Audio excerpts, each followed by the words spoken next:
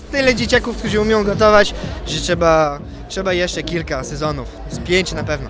To są różne pomysły i różne fantazje mają dzieci i naprawdę ciekawe to jest. Najmłodszy miał 8 lat, najstarszy 12, także się mieścili w tych, w tych kategoriach e, e, wiekowych. Wszystko zależy od, e, od poziomu który złapali w domu, albo w kuchni domowych, albo na lekcjach, albo na różnych sz- sz- szkoleniach. Ale szczerze, to bajka. To, co oni robią, to naprawdę wymiata, wymiata. Oni się lubią, to jest fajna grupa dzieciaków i to jest niesamowite, że oni rywalizują zdrowo. I ja bym naprawdę polecił wiele, wiele starszym ludziom, dorosłym, oglądać ten program i zobaczyć, jak można się zachować w grupie e, ze sobą i jak powinniśmy się zachować w grupie ze sobą. Ja zacząłem bardzo późno gotować, ale ja miałem przewagę e, inną.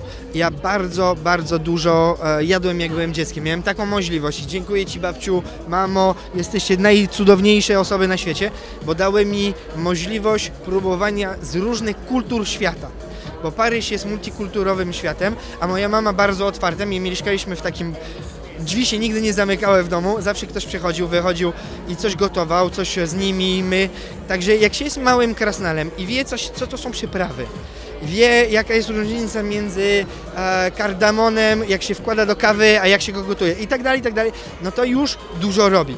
A dodatkowo ja jestem takiego zwolennikiem, że trzeba najpierw ćwiczyć swoje kubki smakowe, żeby wiedzieć o czym się rozmawia.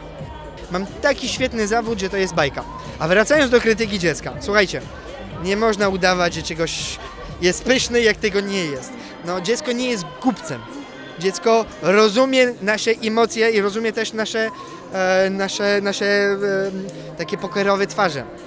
Jak coś jest dobre, to jest dobre. Jak nie, to trzeba tak wytłumaczyć, żeby to dziecko zrozumiał, dlaczego mu się to nie udało.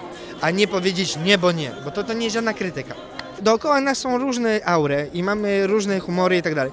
Jeżeli do tego te złe wyrzucimy na bok i weźmiemy tylko te dobre i coś ze skupieniem, z oddaniem ugotujemy dla kogoś bliskiego, to nie ma bata, żeby to nie smakowało.